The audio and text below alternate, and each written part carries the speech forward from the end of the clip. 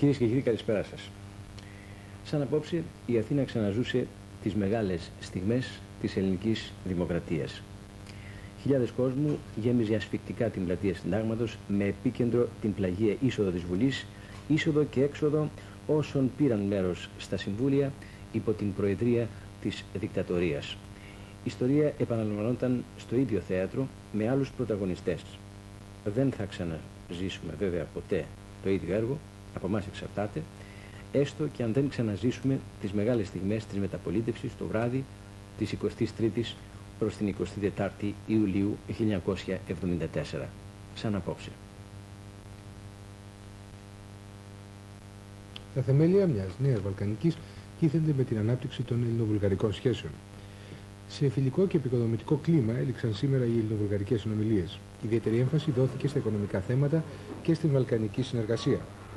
Στις σημερινές συνομιλίες επαναβεβαιώθηκε η αγορά από τη Βουλγαρία 200.000 τόνων αλουμίνας το χρόνο από την παραγωγή του εργοστασίου που δημιουργείται στη Φωκίδα και συμφωνήθηκε η από κοινού με τη Συρία προώθηση του θέματος του σιδηροδρομικού πορθμίου Βόλου Λατάκιας. Επίσης συζητήθηκε η ανάθεση παραγγελιών σε ελληνικά ναυπηγεία από βουλγαρικούς οίκους και η συνεργασία για την κατασκευή τεχνικών έργων σε τρίτες χώρες, καθώς και η δημιουργία μεικτών επιχειρήσεων, καθώς και η μεταφορά know-how τεχνολογίας από την Βουλγαρία. Στο πολιτικό επίπεδο, ο Πρωθυπουργός Ανδρέας Παπανδρέου και ο κ. Ζήφκοβ εξήτασαν ένα ευρύ φάσμα διμερών και διεθνών θεμάτων. Συζητήθηκαν ιδιαίτερα η αποπυρηνικοποίηση της Βαλκανικής, καθώς και οι γενικότερες εξελίξεις στον χώρο των Βαλκανίων, το Κυπριακό καθώς και η διεθνής πολιτική κατάσταση. Ο Πρωθυπουργός Ανδρέας Παπανδρέου και ο Πρόεδρος της Βουλγαρίας, τον Τόρος Ζήφκοβ, συναντήθηκαν κατηνδίαν το πρωί στις 10, ενώ παράλληλα συνεδρίαζαν οι δύο αντιπροσωπείες. Ο κ. Παπανδρέου και ο κ. Ζήφκοβ προείδρευσαν στη συνέχεια στις 6.30 το απόγευμα σε κοινή συνεδρίαση των δύο αντιπροσωπιών. Αργότερα ο Πρωθυπουργός παρέθεσε επίσημο γεύμα προς τιμήν του κ. Ζήφκοβ, στο οποίο αναφέρθηκε στην πορεία των Έλληνο-Βουλγαρικών σχέσεων και τόνισε ότι είμαστε ένα υπόδειγμα Έλληνες και Βούλγαροι για όλη την Ευρώπη.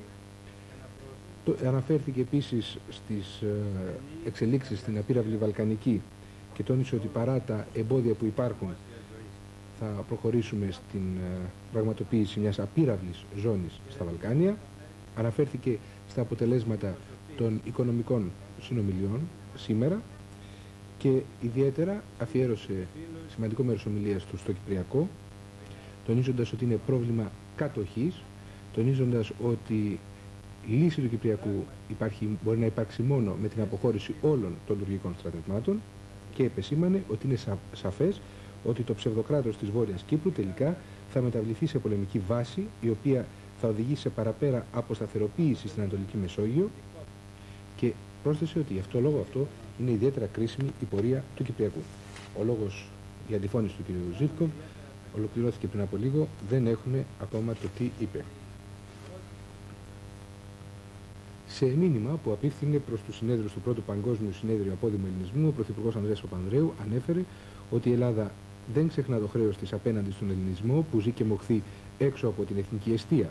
Στρέφει σταθερά την προσοχή της σε κάθε γωνιά της γης όπου και αν βρίσκονται και προσπαθεί να διασφαλίσει τις προποθέσει μιας συνεχούς επικοινωνίας, διαλόγου και συνεργασίας με όλους τους ελληνικούς φορείς του εξωτερικού για την αντιμετώπιση των χρονίων προβλημάτων που υπάρχουν.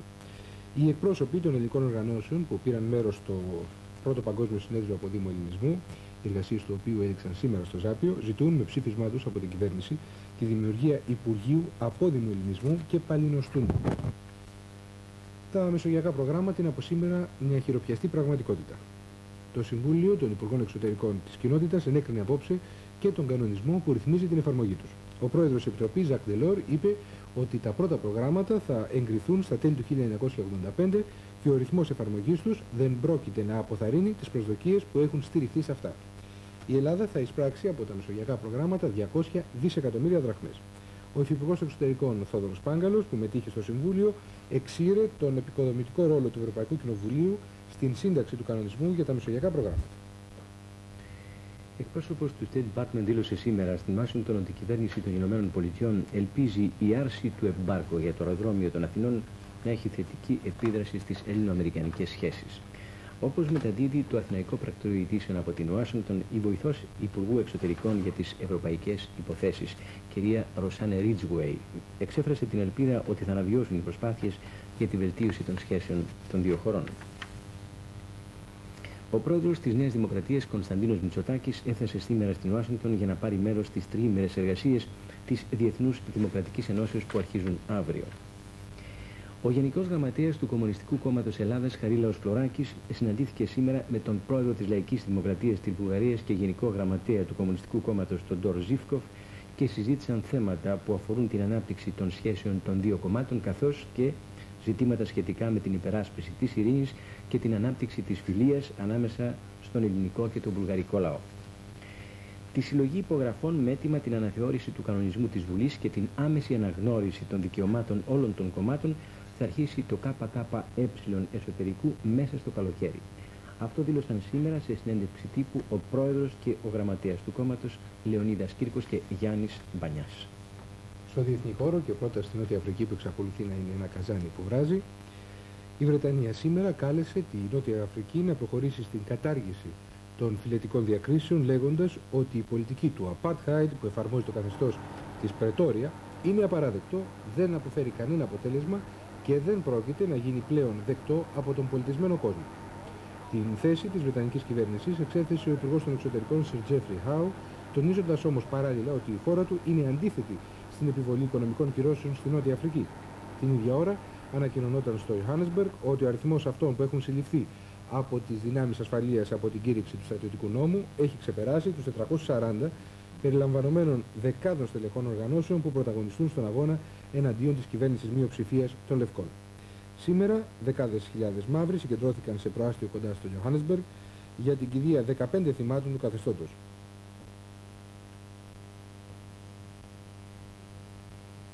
Μεταξύ των ομιλητών στις κηδείες ήταν και ο επίσκοπος Ντέσμον Τούτου που ζήτησε από τον πλήθος να ορκιστεί ότι θα συνεχίσει τον αγώνα για την ελευθερία όλων στη Νότια Αφρική, όλων μαύρων και λευκών.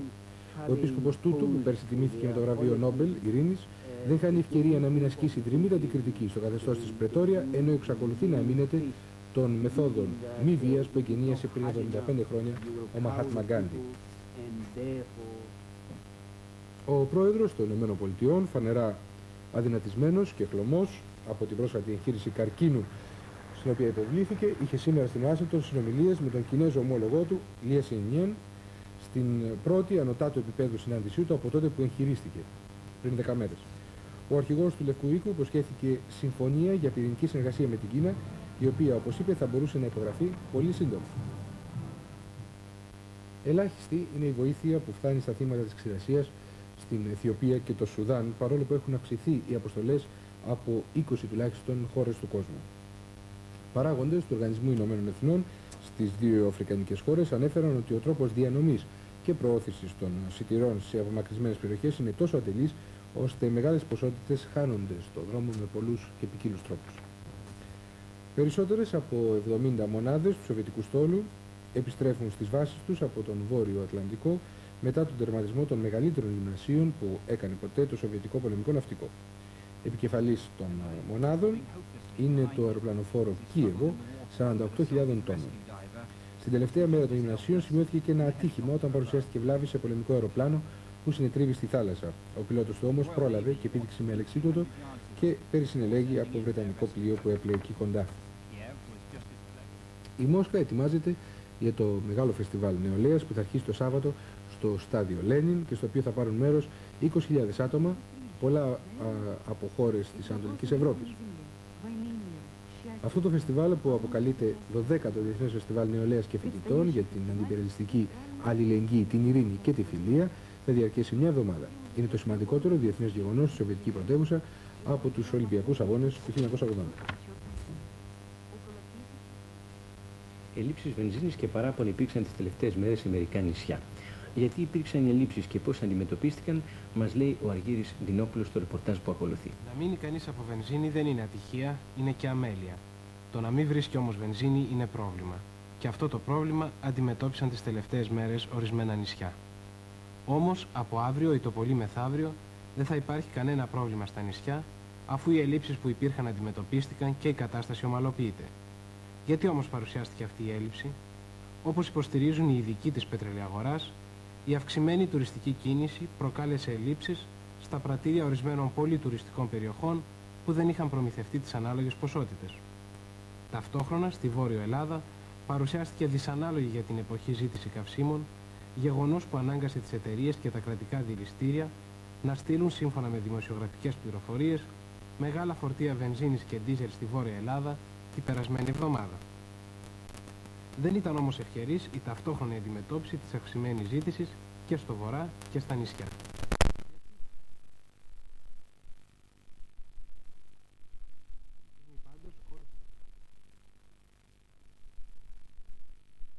όταν οδηγούν θα κοιτάνε τον δρόμο και όχι τον δίχτυ του ρεζερβουάρ.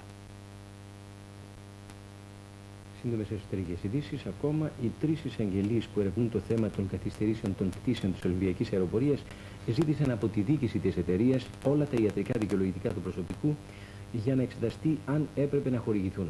Σε περίπτωση που διαπιστωθούν ευθύνες για τις καθυστερήσεις, ο φάκελος της δικογραφίας θα σταλεί στον εισαγγελέα για να ασκηθεί δίωξη κατά των υπευθύνων. Αύριο το πρωί αρχίζει στη Βουλή η συζήτηση για το ρυθμιστικό σχέδιο και το πρόγραμμα προστασίας περιβάλλοντος της ευρύτερης περιοχής της Θεσσαλονίκης. Προτάσεις για την εκαθάριση των εκλογικών καταλόγων θα υποβάλει στο Υπουργείο Εσωτερικών ομάδα από υπηρεσιακούς παράγοντε με επικεφαλής στον Γενικό Γραμματέα Λικούργο Σακελάρη. Δύο ακόμα σύντομες εσωτερικές ειδήσεις. Προφυλακίστηκε σήμερα μετά την απολογία του στον ανακριτή ο απόστρατος υποδιευθυντής της ελληνικής αστυνομίας Αλέξανδρος Ριζάς, 49 ετών, κατηγορούμενος για προπαρασκευαστικές πράξεις, εσχάτη προδοσίας, διέγερση δια του τύπου και περιβρύση αρχής. Τα δύο πρώτα δικήματα επισύρουν ποινές πολιετούς κάθριξη.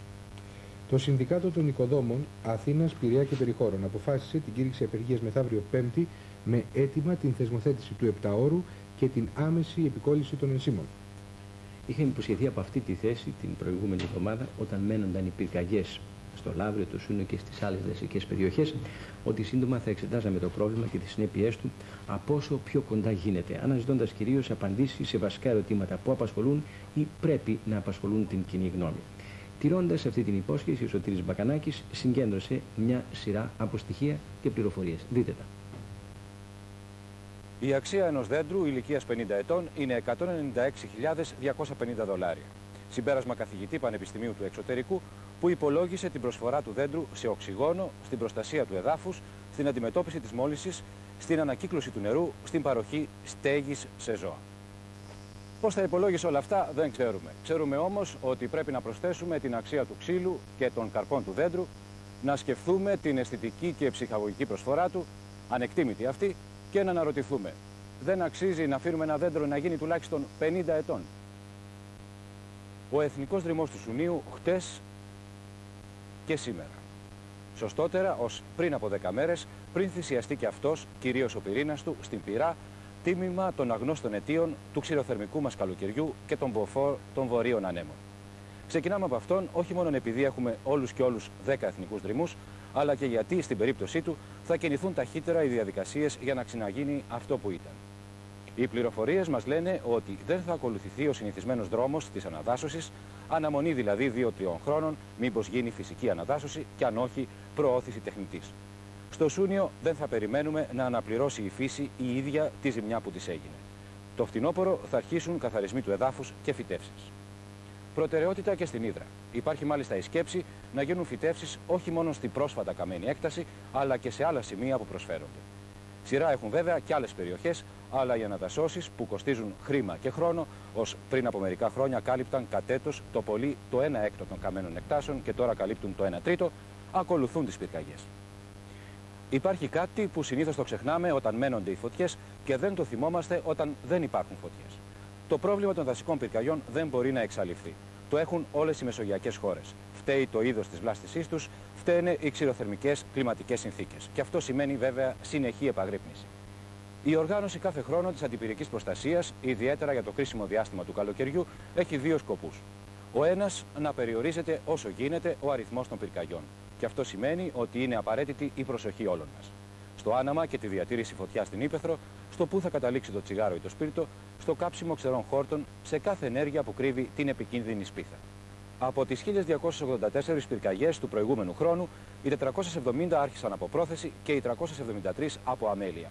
Μικρό το μερίδιο για τις άλλες αιτίες, αλλά μεγάλο για τις άγνωστες. Για 349 πυρκαγιές τα αίτια παρέμειναν άγνωστα. Ο άλλος σκοπός του αντιπυρικού αγώνα να περιορίζονται οι καταστροφές. Άνθρωποι, μέσα και έργα υποδομής στην υπηρεσία του. Στον πυρήνα της προσπάθειας, οι δασικοί υπάλληλοι, οι οδηγοί και οι δασοπυροσβέστες. Επίσης, πυροσβεστικά αεροπλάνα, πυροσβεστικά οχήματα, τηλεπικοινωνιακό υλικό. Δασικοί δρόμοι, αντιπυρικές ζώνες, υδατοδεξαμενές, καθαρισμοί στα δάση. 180 παρατηρητήρια και περιπολίες για την άμεση επισήμανση και αναγγελία του κινδύνου, υποχρέωση και όσων απλώς κάνουν βόλτα στο δάσος. Περισσότερα κονδύλια κάθε χρόνο, φέτος διατίθενται 2,35 δισεκατομμύρια δραχμές, τα έργα συνεχίζονται και οι φωτιές ξανάρχονται. Συμπέρασμα. Οι πυρκαγιές είναι πάντα περισσότερες το καλοκαίρι, ακόμη περισσότερες όταν τις ευνοούν οι κλιματικές συνθήκες και ο δυνατός αέρας και πάντα λιγότερες όταν νοιαζόμαστε όλοι για τα δάση μας. Μπορεί να αρχίσουν οι φυτεύσεις στο Σούνιο το φθινόπωρο, αλλά για να ξαναγίνει ο εθνικός δρυμός χρειάζονται τουλάχιστον 10 χρόνια. Και για να φτάσει ένα δάσος στην ακμή του, τουλάχιστον 50.